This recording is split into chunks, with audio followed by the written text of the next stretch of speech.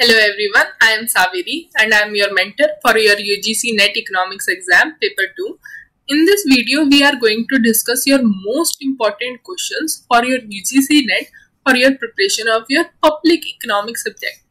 एक बहुत ही ज़्यादा इम्पोर्टेंट सब्जेक्ट है और इसकी तैयारी बहुत कम टाइम में आप कर सकते हैं तो उसी बात को ध्यान में रखते हुए मैंने आपके लिए कंसेप्ट बेस्ड क्वेश्चंस बनाए हैं जिसमें से हम कॉन्सेप्ट्स भी अपने रिवाइज करेंगे और आपकी एमसीक्यू की भी प्रैक्टिस यहीं से हो जाएगी so let's get into the video Before getting into the video, please subscribe to our YouTube channel and press the bell icon so that you never miss any update. So starting with your question number 1, you need to match your list 1 with your list 2. Your list 1 is Adolf Wenger, Weizmann and Peacock, C is Jimmy Carter, Is AP Learner. Your list 2 is zero-based budgeting, functional finance, concentration effect, and law of increasing state activities. And you need to select the correct code. So kindly answer in the chat box and we'll learn the concepts here. So Adolf Wenger का viewpoint सबसे पहले कर लेते हैं. So according to him, the public expenditure increases as the country develops. इसका मतलब है कि आपकी जब कंट्री डेवलपमेंट कर रही है ग्रोथ कर रही है तो आप अपना पब्लिक एक्सपेंडिचर भी इंक्रीज करोगे, क्योंकि आपके पास अब ज़्यादा ग्रोथ अपॉर्चुनिटीज़ हैं।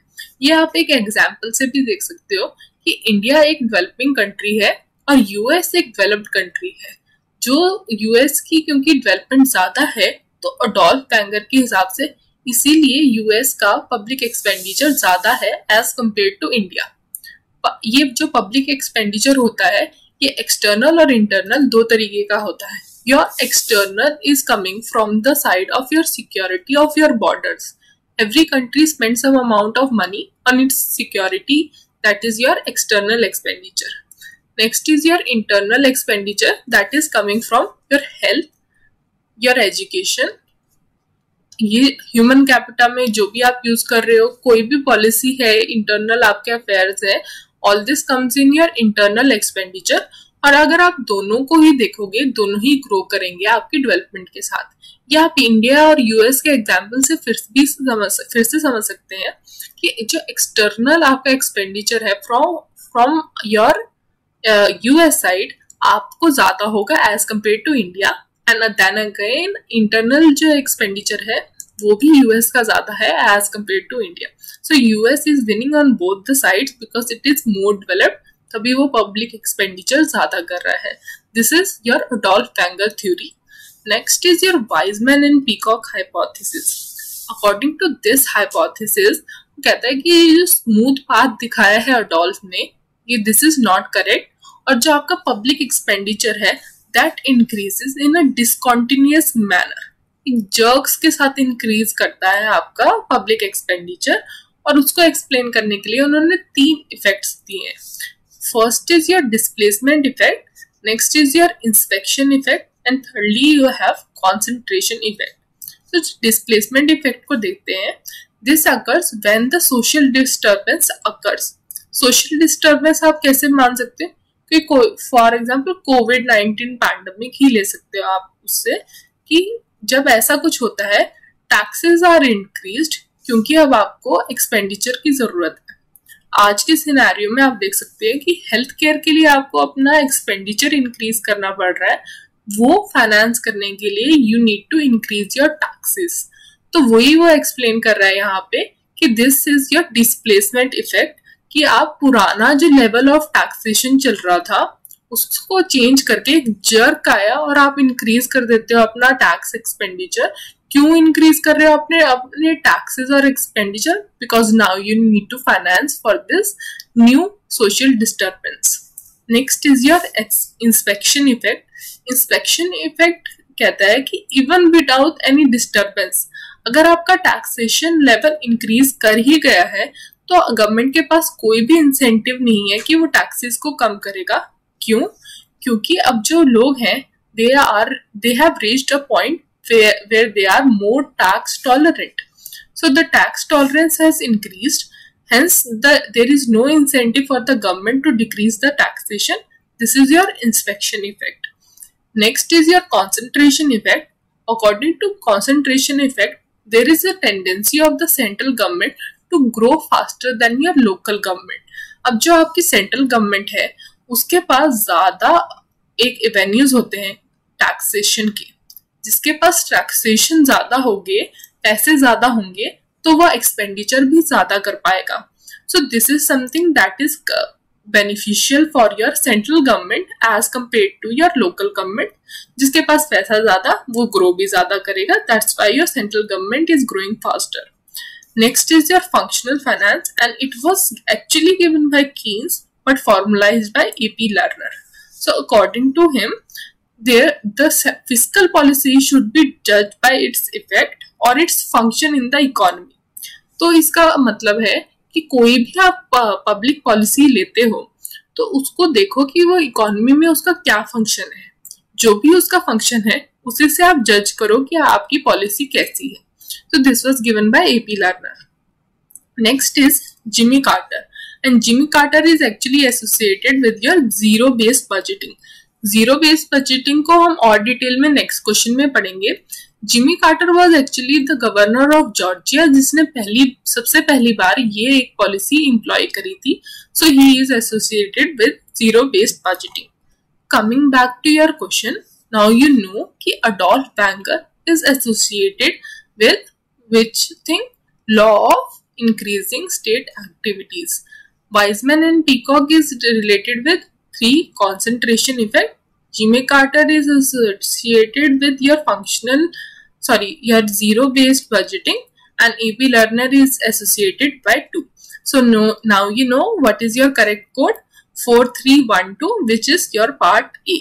So I hope you have been answering in the chat box and we will discuss this next question. Question number 2. Zero based budgeting emphasis on first is your unlimited deficit financing. Second is preparing a new budget from scratch Thirdly, you have prepared the budget without considering without taking consideration of your history of expenditure and you need to select the correct code. So kindly answer in the chat box and we'll discuss the concept. So starting with your zero based budgeting, this was given by Peter A. Fire and this, according to this budget, in every period, you think about a fresh. आप हर period में सोचते हैं कि इस policy का मेरे लिए क्या इफ़ेक्ट होगा। हर पॉलिसी को आप हर साल अलग तरीके से देखते हैं, नए तरीके से देखते हैं, दोबारा देखते हैं। तो ये आपका है ज़ीरो बेस्ड बजटिंग और ये हेल्प करता है कि गवर्नमेंट कोई भी वेस्टफुल एक्सपेंडिचर नहीं करे। Why the government would do any wasteful expenditure क्योंकि वो हर पीरियड में अपने एक्सपेंडिचर के बारे में दोबारा सोच रहा है। The government is thinking about it expenditure in every single period hence कोई वेस्टफुल एक्सपेंडिचर नहीं होगा। Next is your the justification for every expenditure is has to be given in every period तो आप हिस्ट्री का कोई भी role नहीं है इस वाली बजटिंग में। क्यों नहीं है? क्योंकि आप हर पीरियड में अफ्रेश सोच रहे हो। तो चाहे आपकी पॉलिसी लास्ट पीरियड में बहुत अच्छा किया होगा, लेकिन उसको इस पीरियड में प्रूव करना है करंट पीरियड में प्रूव करना है कि वो एक अच्छी पॉलिसी होगी या नहीं होगी। So coming back to your question now you know कि preparing the budget without taking consideration of history of expenditure ये सही है। Preparing a new budget from scratch this is also right and unlimited budget financing this is wrong this is not a part of zero based budgeting so now you know your correct answer is c so I hope you have been answering in the chat box and we'll discuss your question number three. Question number three is which of the following are the feature of your maximum social advantage theory? So first is the money gain from the taxation should be according to the relative wealth of the individual.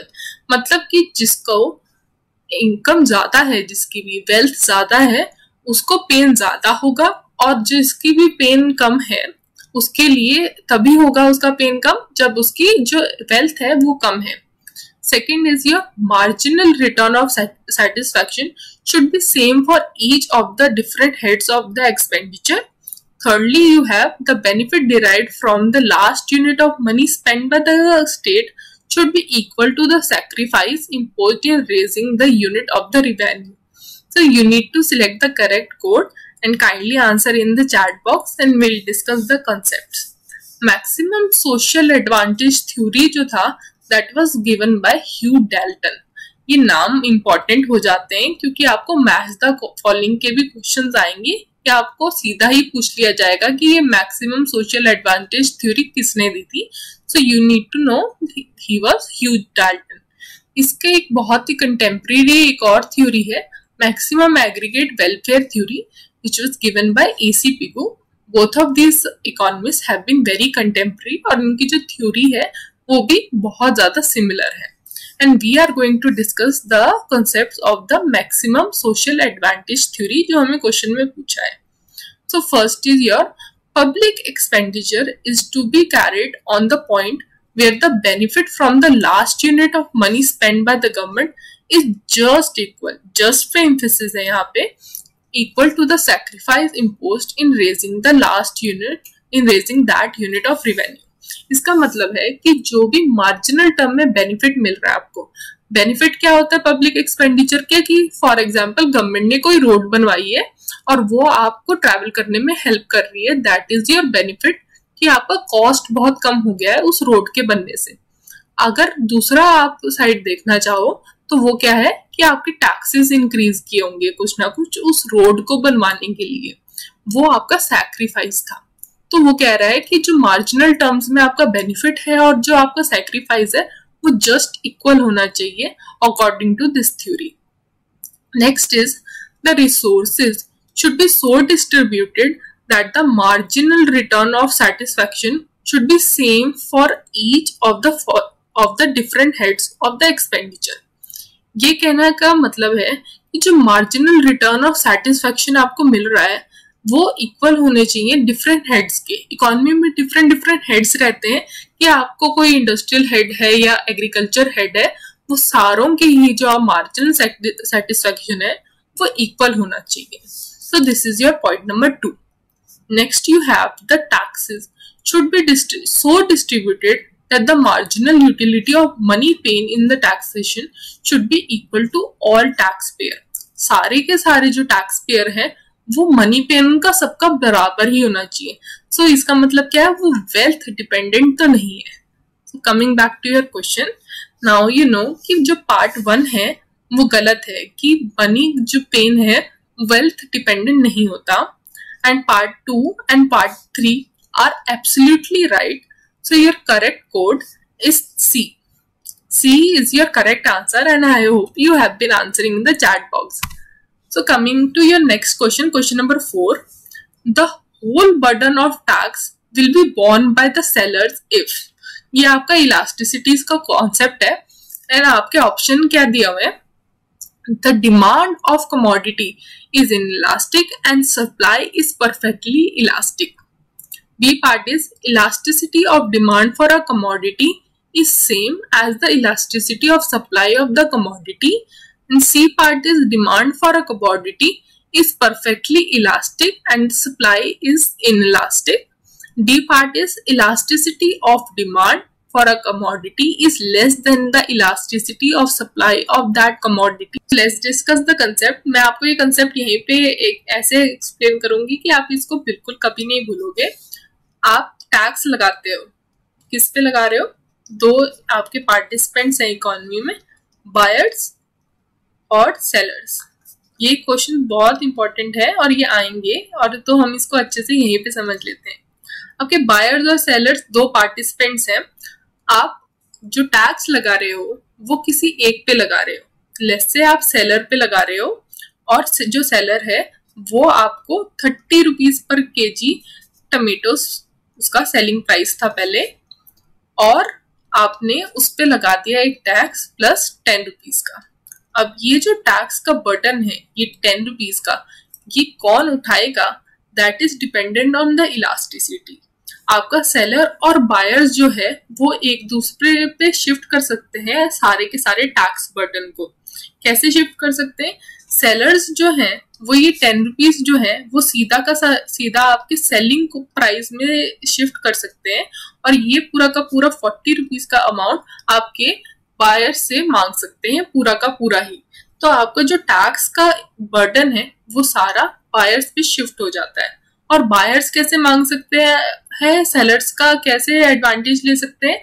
Buyers could actually say कि I would not accept the increase level of prices and then sellers have to pay the government तो इस तरीके से आपके जो buyers और sellers हैं, इनकी बार्गेनिंग पावर रहती है इकोनॉमी में, जिसके हिसाब से आप कितना उनसे ले सकते हो टैक्स का बर्डन वो डिटरमाइन करते हो। इस टैक्स के बर्डन को ही आप कहते हो इंसिडेंस ऑफ़ टैक्स कि किसको कितना बर्डन मिला।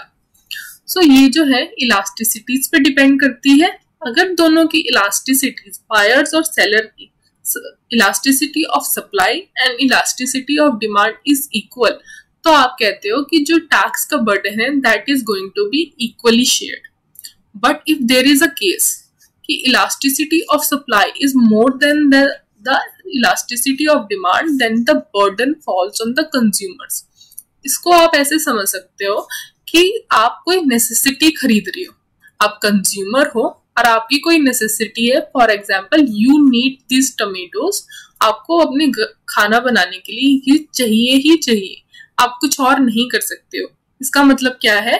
कि इतने भी प्राइस इंक्रीज हो जाए यू नीड दीज टमेटोज तो आपकी जो डिमांड है that is inelastic to your prices कुछ भी हो जाए यू नीड दीज टमेटोज तो सेलर जो है, वो कुछ भी आपसे मांग सकता है कैश और अब वो आपको देना होगा because this is your necessity तो जो सेलर्स की इलास्टिसिटी जो है, वो ज़्यादा होने की वजह से वो आपसे एडवांटेज ले पा रहा है। Then again buyers could also take advantage of suppliers जब उसकी elasticity if the elasticity of demand is greater than the elasticity of supplier, then the burden falls on the sellers तो हमारे क्वेश्चन में ये पूछा हुआ है कि सेलर्स पे कंप्लीटली कब फॉल करेगा? So if the demand of the commodity is perfectly elastic and the supply is perfectly in elastic then the whole burden will fall on the producers क्यों? अगर आपके जो सप्लायर्स हैं, वो बिल्कुल इन इलास्टिक होने की वजह से उनकी एकदम नेसेसिटी हो गई है कि उनको सेल करना ही करना है। तो जो सब बायर्स हैं वो उससे एडवांटेज ले सकते हैं। So this is your complete shift of incidence to your sellers so coming back to your question now you know कि C part is correct the demand of the commodity is perfectly elastic and the supply is perfectly in elastic let's discuss the fifth and last question. The effect of deficit financing is always inflationary, never inflationary. C part is sometimes inflationary and sometimes not so depending on the response of the output and the amount of deficit financing. D part is always inflationary unless accompanied by effective counteracting measures. So please select the correct code and let me know in the chat box what are your answers and we'll see the concept. तो जो deficit होता है that is expenditure minus the your receipts और जो deficit financing का मतलब है कि आपके पास कोई भी और एवेन्यूज खत्म हो गए हैं आपके डेफिसिट को फाइनेंस करने के, क्यों? आपके एक्सपेंडिचर जो है, वो इंक्रीज कर गए हैं आपके रिसीट से और आपके पास कोई और ऑप्शन नहीं बचा है बजाय कि बोरो करने की, या फिर आप what else you can do कि आप प्रिंट कर सकते हो मनी को। सो सिर्फ़ यही दो वेन्यूज बचे हैं। इसको आप डेफिसिट फाइनेंसिंग कहते हो। अब जो डेफिसिट फाइनेंसिंग है एट टाइम्स क्या होता है कि when you print money and you increase the purchasing power of people तो एग्रीगेट डिमांड इंक्रीज कर जाती है। Because this aggregate demand is increasing तो आपकी इन्फ्लेशन भी इंक्रीज करेगी। पर अगर ऐसा हो कि डेवलपमेंट होती है इस एक्सपेंडिचर से तो आपके जो इन्फ्लेशनरी प्रॉब्लम्स है, वो भी केटर हो जाएँगी खुद से, क्योंकि आप जो मनी सप्लाई दे रहे हो, उतना ही आप जो डिमांड और डेवलपमेंट इंक्रीज कर दोगे अपनी इकोनॉमी में। तो आप कहते हो कि आप डेवलपमेंट करो और डेफिसिट फाइनेंसिंग भी करो। तो अगर वो साथ में होते हैं तो इन्फ्लेशनरी इफेक्ट्स इतने ज़्यादा नहीं आएँगे। So coming back to your question now you know कि सी पार्ट इज़ करेक्ट कि समटाइम्स इन्फ्लेशनरी अब आपको देखना होगा कि कैसे रिस्पॉन्ड करती है economy hence your answer is sometimes inflationary so this completes your public finance topic to आप मुझे अब कमेंट सेक्शन में बता देना कि आपको कहाँ पे ज़्यादा प्रॉब्लम हो, हो रही है और हम इसी तरीके से कॉन्सेप्ट बेस अपने एमसीक्यू क्वेश्चन पेपर लेते रहेंगे। अब एग्ज़ाम बहुत पास में आ गया है। मैं जैसे भी आपकी हेल्प कर पाऊँ, आप मुझे बता देना, मैं आपके लिए वही कंसेप्ट को उठा लूँगी ताकि आपकी रिविजन बहुत तेज़ी से यहाँ पे हो जाए। So keep preparing and all the very best I am sure you are going to crack this exam